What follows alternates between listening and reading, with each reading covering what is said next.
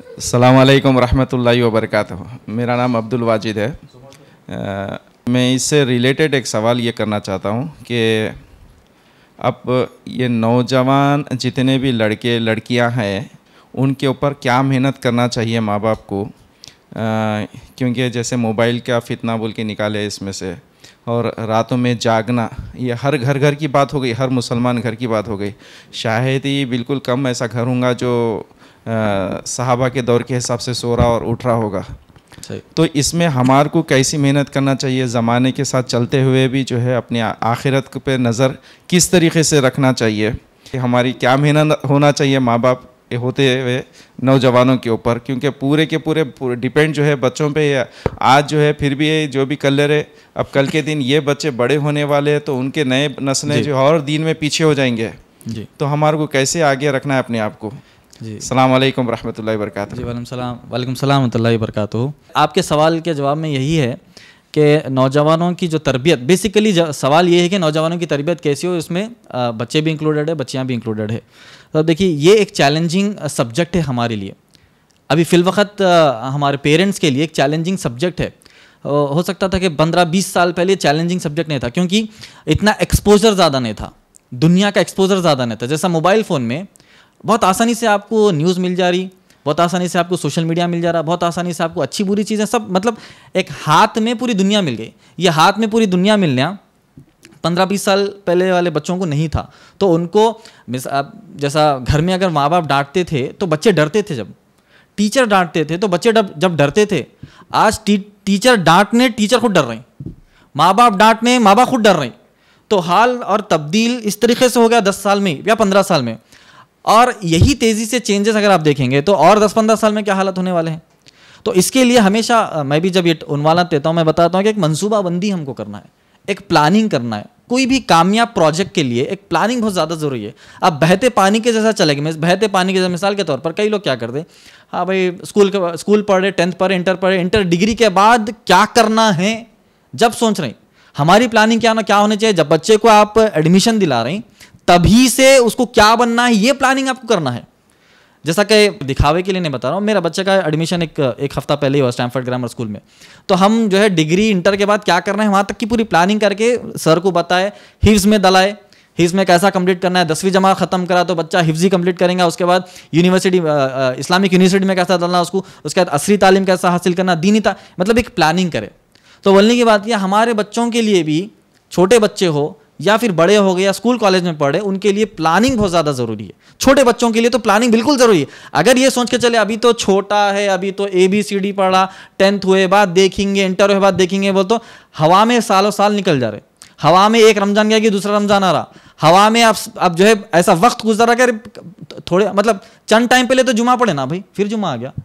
मतलब इतना फास्ट ज़माना है कि इंफॉर्मेशन भी फास्ट आ रही और तब्दीलियाँ भी बहुत ज़्यादा चेंज हो रहे तो ये, अब जब हम नौजवानों की नौजवानों की तालीम की जब बात करते हैं ना तो हम नौजवानों पे ही कॉन्सेंट्रेट करते हैं। या बच्चों की तरबियत की बात करते हैं तो बच्चों पे कॉन्सेंट्रेट करते हैं। असल हमारा काम क्या है? वालदेन पे कॉन्सेंट्रेट करना, क्योंकि उन्होंने तरबियत देने वाले हैं। बच्चों की तरबियत, बच्चों की तरबियत तो बच्चों की तरबियत डेढ़ घंटे का बयान दे दे रहे हैं। तो उनकी तरबियत करने वाले कौन है? लास्ट संडे कोई सवाल करे मुझे कि बच्चों की तरबियत के लिए पहले माँ बाप माँ बाप बहुत जो है टीवी में लग गए माँ बाप जो है अपने काम, कारोबार बिज़नेस में लग गए। तो बच्चों की तरबियत के लिए इस्लामिक इंस्टीट्यूट्स और मदरसे क्या करना? तो मैं बोला क्या ऑर्फनेज है वो। मतलब तुम बच्चे पैदा करेंगे तो छोड़ते जाएँगे, इस्लामिक इंस्टीट्यूट और मदरसा तरबियत करेंगे। बच्चे की तरबियत सबसे पहले तो माँ बाप करना है। और माँ बाप बच्चे की तरबियत करने से पहले माँ बाप तरबियत में आना है। नहीं, माँ माँ ही जो है पाकिस्तानी सीरियल, हिंदुस्तानी सीरियल देख रही है और बच्चे को बोली कि तुम जो है साहबा के किस्से पढ़े बोलते पढ़ते। पूरा ऑपोजिट मसला है यहाँ पर। जो आप प्रैक्टिकल करेंगे, बच्चा वही करेगा। ये तो हम हमारे घरों में देखेंगे, हमारे छोटे बच्चे। बोलने से ज़्यादा जो हम करते हैं, उस पर जो है ज़्यादा अमल करते हैं। जैसा कि आप पूरे बयान में आप सुने कि भाई आप नमाज़ पढ़ेंगे तो आपका बच्चा पढ़ेगा। आप जो है कुरान की तिलावत करेंगे, तर्जुमा पढ़ेंगे तो बच्चा करेगा। यानी एक्शन को बच्चा ज़्यादा पसंद करता है। अगर आप उसको डांटेंगे तो आपसे दूर हो जाएगा माँ बाप से। उसको पड़ोसी अच्छा दिखता, उसको दोस्त अच्छा दिखता, उसको जो है स्कूल का स्कूल के दोस्त अच्छे दिखते। माँ माँ बाप बुरे क्यों नहीं करें? क्योंकि माँ बाप डांट दे रहे हैं। तो हमको हमारी तरबियत पहले बदलना है। हमारा वे ऑफ़ अप्रोच जो है ना वे ऑफ़ अप्रोच बच्चों से बहुत तब्दील करना है, क्योंकि कई सारे जो है केसेस में, कई सारी चीज़ों में हर दो, तीन, चार चार या पाँच साल में ना उसका मॉड्यूल बदलता। दस साल पहले जो बिज़नेस मॉडल था जो बिज़नेस मॉडल नहीं है। चेंज हो गया। दस साल पहले जो आप जहाँ से इल्म हासिल करते थे दस दस साल पहले जो जो आपकी थिंकिंग थी, वो आज बिल्कुल चेंज है। तो बच्चों की तरबियत में चेंज ही नहीं है। दस साल, बीस साल पहले भी लकड़ी से मारते थे, आज भी लकड़ी से मार रहे तो बच्चा बोलता, नहीं, ये नहीं होना मेरे को। क्योंकि बच्चा बहुत वाइड एंगल में बहुत आगे, दस, बारह साल के बच्चों को आज हर चीज़ मालूम है। आप सोच रहे कि कुछ भी नहीं मालूम अरे भाई आपसे ज़्यादा मालूम है। आप कॉलेज भी चले आप स्कूल आप आप बिज़नेस कारोबार को चले आते, आप ऑफ़िस चले आते, बच्चा आपके घर में बैठ के आपसे फास्ट आपसे तेज होगा आपको एप्लीकेशन डाउनलोड इंस्टॉल करना नहीं मालूम है, बच्चा हर चीज़ करके बता दे रहा। मतलब आपसे दो कदम बच्चा आपसे आगे है। तो हमको अपडेट होना है बच्चों को तरबियत देने के लिए। बच्चों को तरबियत देने के लिए सबसे पहले हम तरबियत हासिल करना है कि तरबियत कैसे दे। तो ये सब जो है ना, ये ये मॉड्यूल हमको सेट करना है। तरबियत का मॉड्यूल चेंज करना है तरीक़ेकार चेंज करना है वे ऑफ़ अप्रोच चेंज करना है ये सब चीज़ें चेंज करेंगे तो ही आपको जो है एक सही तरीके से प्लेटफॉर्म मिलेगा सही तरीके से आगे बढ़ेंगे। उसके बाद जो है नौजवान बच्चों का जो मेन बात यहाँ पर चल रही नौजवानों का क्या करे भाई नौजवानों का क्या करेंगे क्या आजकल? क्योंकि नौजवान भय रहे बस जहाँ पर एंटरटेनमेंट दिखा वही गली में जा रही जहाँ पर दीन और दीन दुनिया दी, दीन है जहाँ पर रोज़ा नमाज़ हज और मस्जिद की गली है वहाँ पर मुड़े नहीं। एंटरटेनमेंट की गली में सोशल मीडिया की गली में है। तो उसका सोल्यूशन यही है भाई, एक तो बचपन से ही उनको तरबियत देना था, जो मिस कर दिए। बचपन से तरबियत देना, याद रख लीजिए आप, ये हमारे ऊपर फ़र्ज़ अल्लाह सुबहाना तआला ने कुरान मजीद में क्या कहा? या लजीन अमन लोगो, जो ईमान लाए, खु अनफसकुम वाहलिकुम नारा, फ़खुद हन्नास वाले जा ए ईमान वाले, जो ईमान लाए हो, अपने आप को और अपने अहलो अयाल को जहन्नम की आग से बचाओ। का माना ये हुक्म है अल्लाह का। ये कॉन्सेप्ट हमको समझना है। एक प्लानिंग सही तरीके से डालना है। बच्चों को बचपन से ही तरबियत दिए तो उन्हें सही एक पेड़ बनेगा। अगर आपको बहते पानी में छोड़ दिए तो उन्हें इस तरीके से शाखें निकालता कि शाख पे अपन ही लटके थे फिर। अपनी सु, अपनी सूली चढ़ा देते। एक एक दरख्त पे एक एक शाख पे अपन लटकना पड़ता माँ बाप क्यों? क्योंकि उसको एक वे ने बताया। कई माँ बाप हमारे पास वकालत की फ़ील्ड में कई ऐसे माँ बाप खातन फ़ोन करके रो रहे हैं। वकील साहब, वो बारह साल का बच्चा है, गांजे में डूब गया। एक एक वालिद एक वालिद आके यहाँ रोए, मेरे मेरे रूम में रोए। क्या हुआ भाई? दीन दान घराने के है उन्होंने ऐसा नहीं कि कोई आके बोल रहे हैं, क्या है? मेरा बच्चा ड्रग्स और गांजे में डूबा हुआ है। उन्होंने बोल रहे मैं हर मस्जिद फिरता हूँ। आप जितने भी ओलमा है ओलमा के नाम लिए, जितने भी स्पीकर से स्पीकर का नाम लिए मेरे पास आके बोले कि केस हो गया उसके ऊपर। मैं बोला, रहन दो छः महीने। केस के सिलसिले में आए थे? मगर अपने बच्चे का किस्सा सुना रहे इंजेक्शन लेके घर पे आ रहा करते। कितना है वो तो? अट्ठारह साल का बच्चा। चौदह साल के बच्चे की वालदा फ़ोन कर रहे। साहब, मेरे बच्चे को लेके चले गए। जल्दी कुछ करिए ना।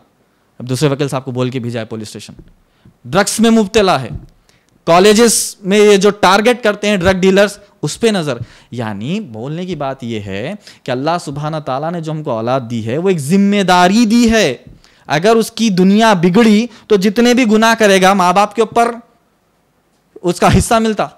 इनहेरिटेंस जो हम देते ना, जायदाद में इनहेरिटेंस देंगे, अगर तरबियत सही नहीं देंगे तो उसके गुनाह का इनहेरिटेंस ऊपर हमको मिलेगा। तो ये सब चीज़ें प्रॉपर प्लानिंग के साथ होना चाहिए। बचपन से ही बच्चों को कई सारी चीज़ों से दूर रखिए और बड़ों का आ, मसला यही है। अगर बड़े नौजवानों का मसला ये है कि इन लोगों को आ, मैं समझता हूँ कि आउटस्टैंडिंग हमको जो है काउंसलिंग करना है दीन दुनिया बराबर बताना है फ़र्क बताना है। नौजवानों की बात कर रहा है नौजवान बच्चियों का हल क्या है? ओल्ड सिटी की स्टैटिस्टिक्स कितने हैं? क्या लाखों में बच्चियाँ बैठे हुए क्योंकि जहेज देने नहीं है? ओल्ड सिटी के ओल्ड सिटी की स्टैटिस्टिक्स ये है कि कई सारी मुसलमान बच्चियाँ जो है प्रोस्टिट्यूशन में हैं। मालूम है? हैदराबाद में रहते ना? मालूम होगा ना सबको? ये रिपोर्ट्स है। न्यू सिटी बोलते आप न्यू सिटी में निकल जाओ। पूरे बच्चे अपने जो है स्कूल्स और कॉलेजेस के नाम पे जो है पब्स में क्लब्स में मिल रही मिले ना? पब्स और क्लब्स में वाकयात भी हुए ना? तो ये बहुत बड़ा ज़िम्मेदारी उम्मत मुस्लिमा पर है। ये इसको सही करने के लिए इनफरादी तौर पर भी हमको जो है मेहनत करना है घर में और इज्तमाही तौर पर भी करना है। इज्तमाही तौर पर हमारे जो लीडर्स है चाहे पॉलिटिकली पॉलिटिकल लीडर्स छोड़ दो। हमारे जो रिलीजियस लीडर्स है स्कॉलर्स है इंस्टीट्यूट्स है, जो अपने आप को बड़ी बड़ी जमातें बड़ी बड़ी जमीयतें बोलते उनकी ज़िम्मेदारी है कि यूथ पर फोकस करे। अदरवाइज़ ये यूथ जो है अगले 10-15 साल में मुर्तद भी हो सकता। याद रख लो ये बात। मुर्तद भी हो सकता। अरे भाई एक्स मुस्लिम्स का कितना फितना नहीं चल रहा है? इंटरनेट पर यूट्यूब पर आप देखिए एक्स मुस्लिम्स का। कई सारे मुसलमान नाम के। नौज बिला मिनजालिक जो है, दुश्मनान इस्लाम से मिलकर जो है कई सारी बातें नबी अकरम सल्लल्लाहु अलैहि वसल्लम पर एक्स मुस्लिम्स का फितना मेरा क्या आप और मैं ये पसंद करें कि मेरा बच्चा आज जो फिर रहा है, ये बच्चा जो फिर रहा दस पंद्रह साल के बाद क्या वो एथिस्ट हो जाए? दस पंद्रह साल के बाद क्या मुर्तद हो जाए? क्या आपके घर में आप अपनी बच्ची को देखेंगे? क्या अपने बच्चे को देखेंगे? तो नहीं देखना है तो इसको अपनी प्रायोरिटी की ज़िम्मेदारी लेकर जो है इनके ऊपर मेहनत करना है। तो ही वो फल मिलेगा। अगर आप बोलिए कि मेरी ज़िम्मेदारी है कि भाई मैं कमाया ला के घर में सैलरी दे दिया, मैं बिज़नेस करा ला के, घर में सैलरी दे दिया, मैं बाहर रहता हूँ, वहाँ से वहाँ से मैं सैलरी भिजा दिया, बच्चे यहाँ पढ़ रहे, लिख रहे, नहीं मालूम बोलते आप आए तक आपकी सुनते ना, आपकी मानते ना, आपको पूछते ना, आपको देखते ना।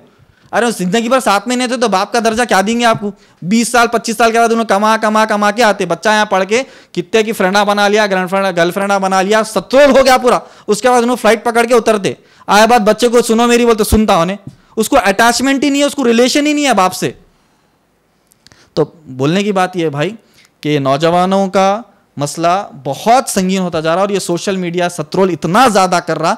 पहले तो भी इंटरनेट में कुछ गलत चीज़ें देखें तो हिस्ट्री वगैरह में सेव होती थी। अब तो जो है रील्स में आ गया हर चीज़। आपकी हिस्ट्री भी सेव नहीं होती, आपके माँ बाप को मालूम भी नहीं होता रील्स में क्या देख रहे। बच्चा रील्स में देख के निकल भी जा रहा। आप बोल रहे छोटा बच्चा, भाई, उसको देख लेना तो यूट्यूब पे क्या की देख रहा उन्हें? रील्स में क्या की देख रहा हूँ इंस्टाग्राम में क्या की देख रहा? आपसे ज़्यादा उस बाप के बच्चे को मालूम हो जा रहा। तो ये सब मोबाइल का फितना, सोशल मीडिया का फितना, इंटरनेट का फितना, बच्चों को दूर रखिए। दिन रात दीनी माहौल बनाएँगे तो ही आपका प्रोडक्ट सही निकलेगा, दीन की राह पर चलेगा। दुश्मना, दुश्मन ने इस्लाम का प्रोजेक्ट क्या? नहीं है। मुसलमान बच्चों को टारगेट करना। बच्चों को टारगेट करके तो कई शादियाँ करा दिए। बच्चों को टारगेट नहीं है। उनकी मनसूबाबंदी है, भाई। 1925 में कायम हुए। अब 25 साल होने वाले तो अभी 100 साल होने वाले हैं 2025 में। तो उनके इतने बड़े बड़े प्रोजेक्ट्स है। आपको कानो कान खबर नहीं है लॉकडाउन में एक एक पैदल मार्च निकला। कितने थे, कितने मिले आपको? अरे, बोले, हैदराबाद में इतने हैं। हाँ है, आपके बाजू वाला ही है आपको नहीं मालूम। आपके एरिया का प्रेसिडेंट होने आपको नहीं मालूम। का माना ऐसी ट्रेनिंग हो रही उनकी। और हमारी ना ट्रेनिंग है, ना मनसूबाबंदी है, ना प्लानिंग है, ना प्रोसेस है, ना अप्रोच है, ना वे ऑफ़ जो है अप्रोच हम कर रहे हैं। तो ये सब फेल होगा तो प्रोडक्ट भी फेल होता। आपके बच्चे घर में सतरोल हो जाते। आखिर बिल आखिर जो है, कोई वकील साहब के पास जाकर वकील साहब, मेरा बच्चा मर्डर कर दिया, मेरा बच्चा एक्सीडेंट में मर गया, मेरा बच्चा ड्रग्स का फला हो गया, मेरा बच्चा बच्ची को लेकर भाग गया, मेरी बच्ची जो है, हिंदू के साथ शादी करके भागे, कुछ भी करो साहब। तो ये सब सिनारियोज हमारे घर में नहीं होना है। तो बचपन से ही टारगेट लेके बैठो।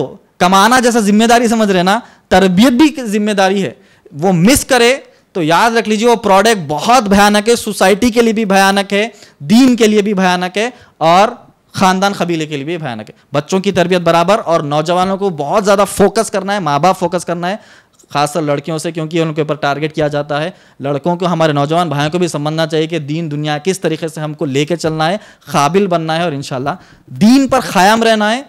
ताकि हमारी दुनिया बराबर रहे हमारी जो है दीन आ, आ, बराबर रहे और सोसाइटी के लिए फ़ायदा बने दीन के लिए फ़ायदा बने और जो अल्लाह सुबहाना ताला के सामने हम जो एक अच्छे मुसलमान बनकर इंशाल्लाह जाए। तो एक कंप्लीट प्रोजेक्ट जिस पे हर माँ बाप को एज ए ज़िम्मेदारी काम करना है इन इंशाल्लाह जजाक थोड़ा बड़ा हो गया मगर तो पॉइंट्स पूरे कवर करना था मुझे।